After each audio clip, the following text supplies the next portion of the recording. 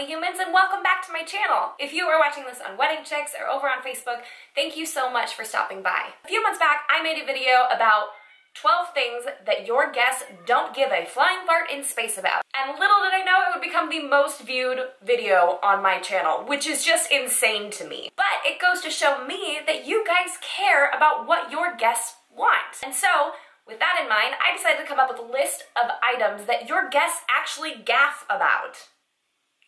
Give a you know what about. So without further ado, nine things your guests actually care about.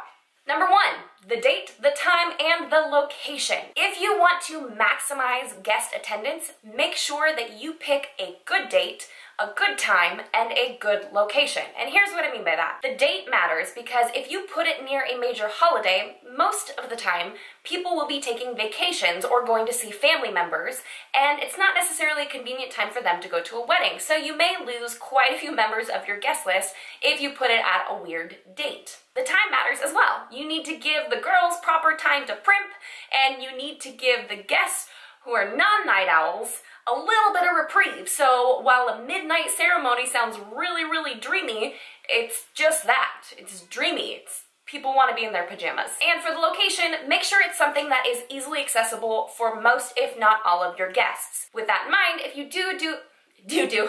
If you do have a destination wedding, make sure it's a destination that people actually want to go to. Number two, the weather. An outdoor ceremony in January is pretty hard to pull off unless you live in the southwestern United States or on a tropical island.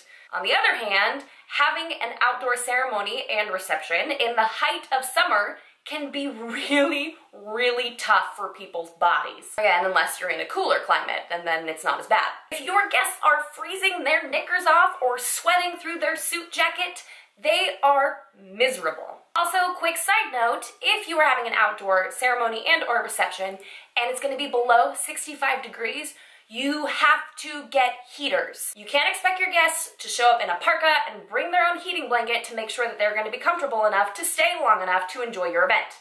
Number three, parking. Parking should be close, accessible, and free or low cost. Trudging a quarter mile in stilettos is difficult for even the most proficient high-heeled walker. So um, if you're like me and you only wear high heels when you absolutely have to, walking about 100 feet is difficult. And no one ever wants to pay $20 for parking. Like, ever. Not even at a Beyonce concert. Number four, the timeliness. If you start your event late, it will bore your guests to tears. They'll start to get antsy and it will set the tone for the rest of your event. Recently, I actually had a mother of the bride ask me how I could tell if a crowd was getting antsy, and so I gave her this explanation. If they look like they are engaged in conversation and the background music is slightly lively but not too loud, they're pretty much enjoying themselves. But if they start looking around like they're waiting for Ashton Kutcher to come out and tell them that they're being punked, you know it's time to get the ball rolling because they're anxious. Number five, the entertainment. This is where a fantastic DJ comes into play. I've said this before, I'll say it again.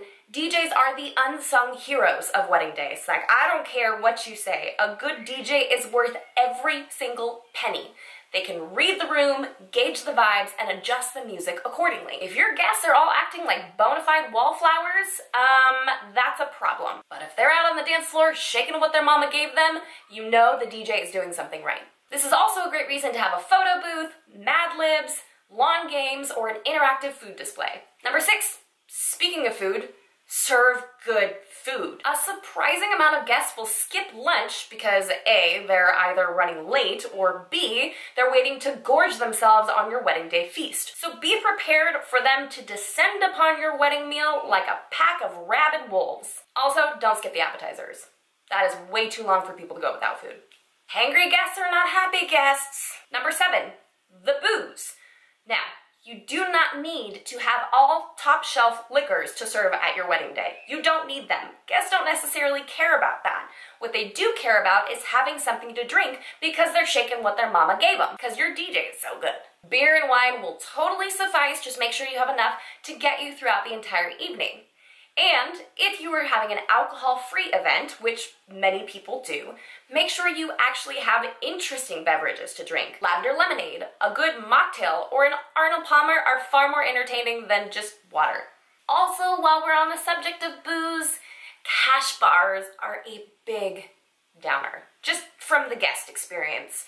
If you can't afford to have a full open bar, look, I get it. We couldn't do that either, and so we chose to only serve beer and wine. Also, that's all our venue would allow, but that's neither here nor there. Cut down on your alcohol options until you reach a point that you can afford to supply beverages for your guests for the entire evening. Number eight, the flow. Now this kind of goes hand in hand with like the timeliness of your event, um, but it deserves its own bullet point, and here's why. Guests will notice if cocktail hour takes two and a half hours. Guests will notice if it takes three hours to get food in front of them. Guests will notice if they can hear crickets chirping in the background.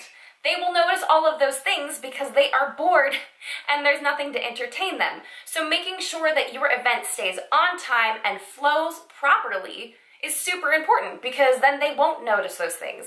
That's where a good coordinator and a good DJ come in hand because they're able to read the room, gauge the vibes, and adjust your timeline accordingly to make sure no one notices anything. And lastly, number nine, the connection. Your guests show up to your wedding day because they want to be a part of your event. And that is the sweetest gift that they can give you. The best gift that you can give them in return is the gift of connection. What I recommend, if there is time in the timeline or throughout the event, to stop by each table and say hi, take a quick pic, and do some glad handing, then perfect. Take that opportunity, shake some hands, kiss some babies. Trust me, they will be thrilled that you took a small portion of time out of your wedding day to say hi to them. At the end of the day, it's your wedding day. You shouldn't let anyone else's opinions, mine included, sway you from making decisions that you want to make. But if you're spending all of this money to make sure your guests have a good time, you want them to stay for the entire time. And basically, the nuts and bolts of it is you need to feed them well and you need to entertain them. Like, it's just that simple. Make sure they don't get bored. Make sure they don't go hungry. Make sure they've got plenty of booze to resort to if they need to. Hopefully not too much. It's also why you need a good bartender to cut somebody off, just in case somebody get cranky. But if you want your guests to enjoy themselves, make sure you follow all these rules, or at least some of them. Or all of them. So that's all we have for today, folks. Thank you so much for stopping by. If you haven't done so already, like this video because you liked this video. See what I did there? and subscribe to this channel for more tips and tricks for the modern day bride. Speaking of subscribing, Holy smokes, you guys, we are so close to a thousand subscribers. And by we, I mean me. I mean it like the royal we. Who I am out of my noodle overwhelmed and so blessed that you guys have decided to allow me into your wedding planning process. Like that's huge. That means a lot to me. So thank you to all of my subscribers for already clicking that button, hitting that bell notification, and if you haven't done so already, jump on down there and do that. I'd love to have you be a part of our community. Speaking of community, drop a comment down below. I get very excited by comments. I love interacting with you guys. I love hearing your ideas. They give me ideas for new content, which is sometimes really, really hard to come up with. As always, a huge shout out to my gal pals over at Wedding Chicks for hosting this video, and until next week, bye guys.